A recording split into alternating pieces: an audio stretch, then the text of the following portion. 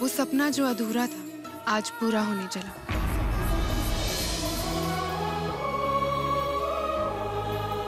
मैं तुम्हारे सिंदूर को अपनी मांग में भरने जा रही हूँ निशा। शांति बनेगी आदित्य की ज़िंदगी या बनकर रह जाएगी वो अधूरा अरमान। वो अपना सा सोमवार से शुक्रवार शाम छह बजे ईस्टर्न और दोपहर तीन बजे पैसिफिक सिर्फ़ जी टीवी पर।